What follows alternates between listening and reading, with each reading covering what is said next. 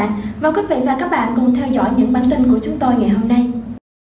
Mời quý vị và các bạn cùng theo dõi phần 6 của kỳ án Nam Cam, những bóng hồng đằng sau cơ đồ đế vương của Nam Cam.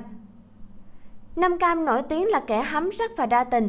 Trong bất kỳ mối tình nào, cuộc chơi với mỹ nhân cũng đều được y lựa chọn và sắp đặt như một quân bài trong hành trình đưa mình lên vũ đài ngôi vương.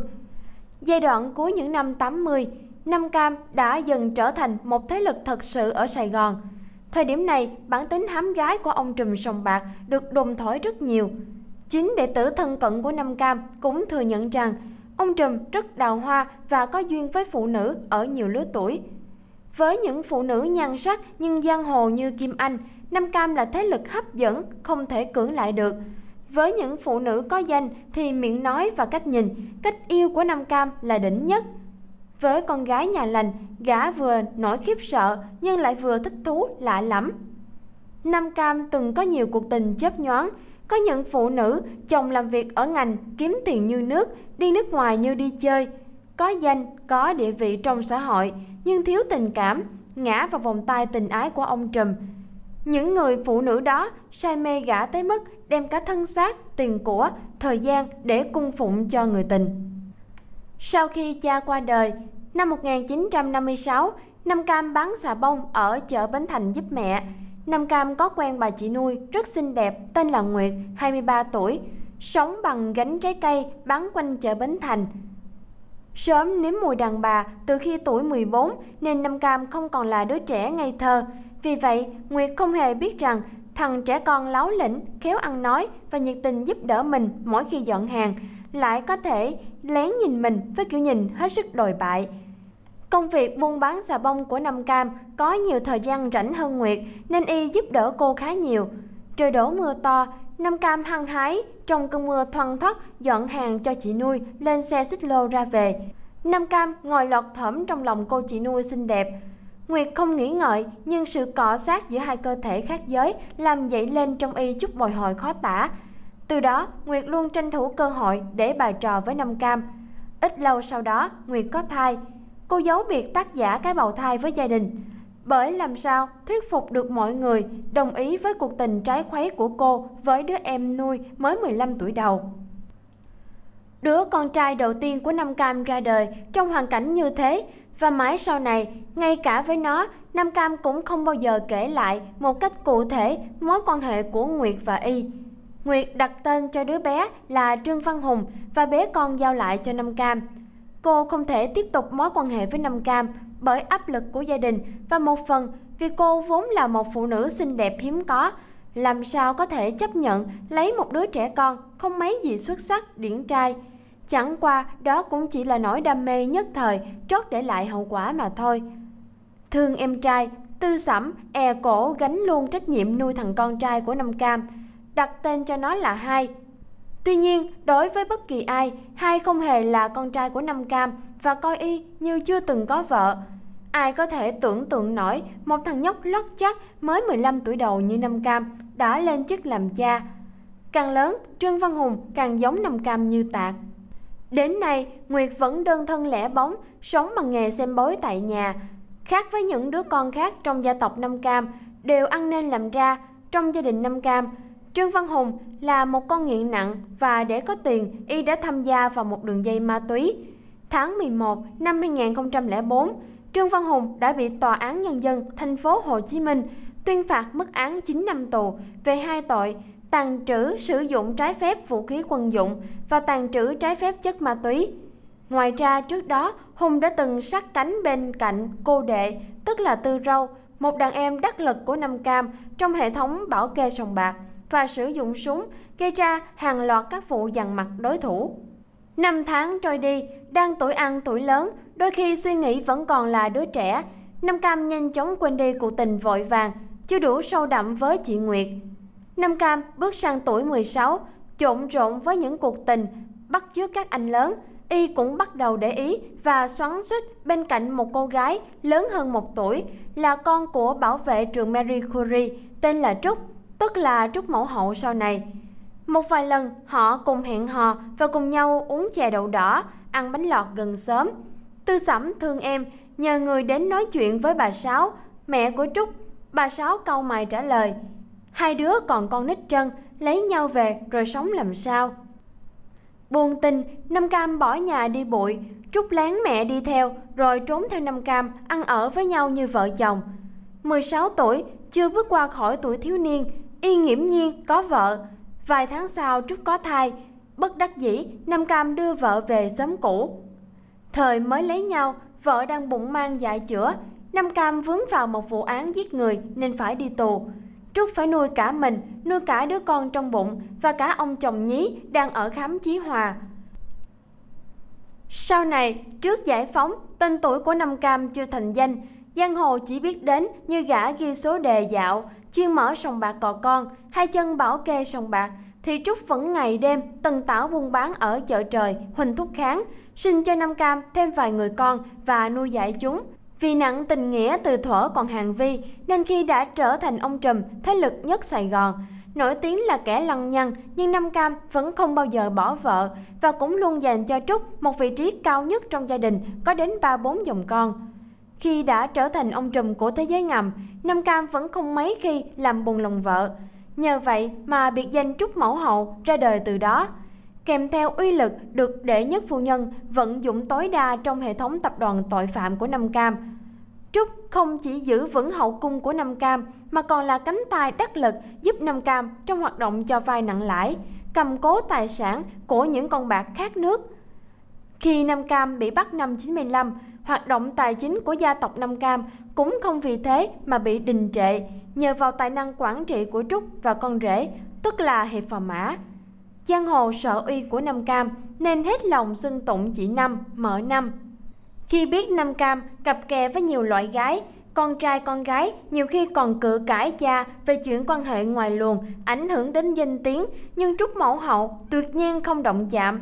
Người đàn bà này hiểu chồng tới mức chẳng cần phải ghen tuông khó chịu. Giới giang hồ nói rằng cuộc đời Nam Cam có nhiều người đàn bà, nhưng chỉ có Trúc Mẫu Hậu là người đàn bà không bao giờ có thể thay thế được. Quân bài Mỹ Nhân Kế Kim Anh Kim Anh là một ả làng chơi được thế giới ngầm mệnh danh là gia đình giang hồ thuần chủng. Mẹ Thị được dân giang hồ thường tôn là lão tiền bối, cũng từng có tiếng ở đất quận tư. Giống tính mẹ, được thừa hưởng hương sắc của cả cha lẫn mẹ, nên ba chị em Kim Anh được xếp vào hàng những ả tố Nga. Chúng đẹp, phủi và bụi từng làm điên đảo giới giang hồ chiếu trên một thời ở Sài Thành như Đại Bằng Đen, như Năm Cam, Lâm Chín Ngón và Bình Kiểm Siêu Lòng. Kim Anh thường đến nhà Trúc chơi và xem Trúc như chị của mình. Ham chơi lêu lỏng, Kim Anh đi nhảy đầm và cặp bồ linh tinh từ lúc còn trẻ ranh. Có những đêm đi chơi về khuya, Kim Anh ghé vào nhà Trúc để ngủ lại, ngủ cùng giường với vợ chồng của Nam Cam. Nhan sắc của cô gái trẻ có dòng máu lai Pháp làm Nam Cam sao xuyến mỗi khi ả ta ngủ chung giường với vợ chồng y. Nam Cam biến Kim Anh thành nhân tình của mình lúc cô mới bước vào tuổi 16. Quen hơi bén mùi những lúc Trúc đi chợ hay rời nhà công chuyện, Nam Cam lôi tù Kim Anh vào buồng ngủ của hai vợ chồng y. Khi Nam Cam đang ở đỉnh cao của quyền lực, mượn thế ông trùm, một loạt các nhà hàng có dịch vụ nhạy cảm được Nam Cam mở ra quản lý. Những nhà hàng này trở thành tụ điểm ăn chơi của những công tử lắm tiền hám của lạ. Khi đã có tiền trong tay, Kim Anh bắt đầu lấn lướt định xóa ngôi của Trúc Mẫu Hậu. Dù xinh đẹp, giang hồ thật, nhưng Kim Anh chưa bao giờ đấu lại được Trúc Mẫu Hậu.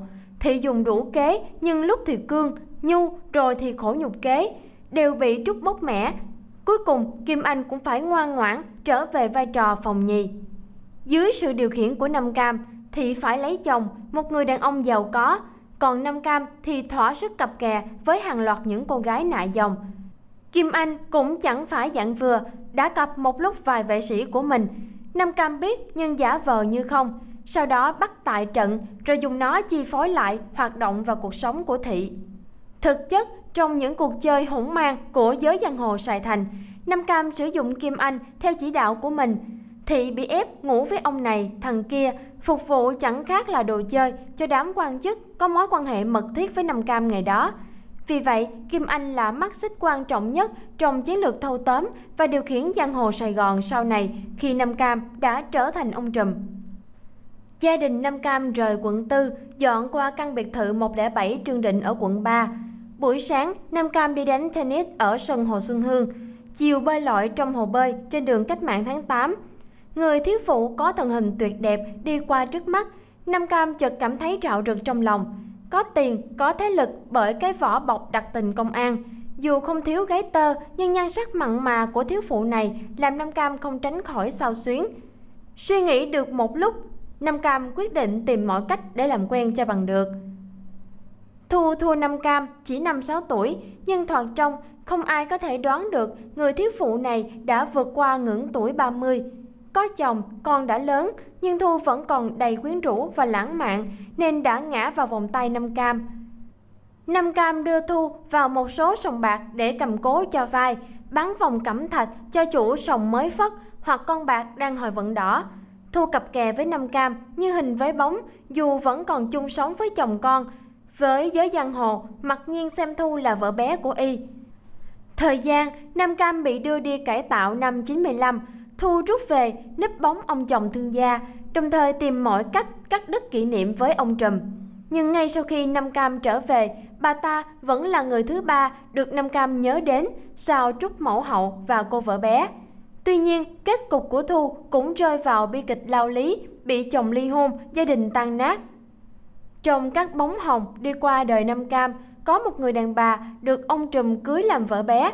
Không mấy ai từng biết đến người phụ nữ tên Trương Thị Lành, sinh năm 1946, ngụ tại quận 4. Bà Lành là một bí mật lớn trong vụ án Nam Cam, người phụ nữ gắn bó với ông Trùm nhưng không bị lộ danh phận. Người đàn bà này tính tình rất hiền lành, ít tham gia vào cuộc sống xô bồ, tranh giành địa vị, ham quyền chức hay cuộc sống giàu sang như những bóng hồng khác từng gắn bó với Nam Cam. Quãng thời gian chung sống, bà Lành sinh cho Nam Cam cả thải ba người con. Điều ngạc nhiên là Trúc Mẫu Hậu rất quý tính nết của bà Lành và đồng ý chấp nhận cảnh chung chồng. Tuy bà Lành vô can với các tội trạng của Nam Cam, thế nhưng bà cũng không thoát khỏi bóng đen ám ảnh xui xẻo khi bén duyên với ông Trùm. Vì chịu nhiều điều tai tiếng của hàng xóm, của anh em họ hàng, nên bà Lành suốt ngày đóng cửa. Một thời gian sau, bà quyết định nương nhờ cửa Phật, tìm chốn tịnh thiền để gọt rửa tội lỗi quá khứ, giúp cho tâm hồn được bình an. Cũng phải kể, trước năm giải phóng, khi còn làm bảo kê sòng bạc cho anh rể là Bãi Si, Nam Cam có tham gia một vụ thanh toán giang hồ. Không ngờ, Nam Cam vô tình lọt vào mắt xanh của một nữ sinh tên Mai, vốn là con của một sĩ quan quân đội Cộng Hòa. Dù biết Nam Cam đã có vợ con, nhưng nữ sinh vẫn tình nguyện làm vợ bé của Nam Cam. Sau này, Mai sinh cho Nam Cam hai người con. Khi cuộc sống hôn nhân không còn mặn nồng, Nam Cam đón con về cho trước Mẫu Hậu nuôi dạy. Nam Cam giờ đã nằm yên dưới ba tấc đất và mang theo nhiều bí mật của cuộc đời. Trong đó, bí mật lớn nhất mà ông trùm này để lại đến nay vẫn chưa bao giờ có câu trả lời. Có bao nhiêu người đàn bà, người con gái đã đi ngang qua cuộc đời của gã, từ lúc biết nếm mùi đời thân xác con gái của tuổi 14 đến lúc vướng vào vòng lao lý. Đến nay, những bí mật của kẻ hám gái vẫn chưa được giải đáp. Nhưng có một sự thật hiển nhiên là hầu hết những bóng hồng từng ngã vào vòng tay của Nam Cam đều không có cái kết hậu về sau như số phận của ông Trùm. Để cập nhật được những thông tin mới nhất, quý vị và các bạn có thể ấn subscribe và like kênh Báo Nói. Cảm ơn quý vị và các bạn đã quan tâm theo dõi. Xin chào và hẹn gặp lại!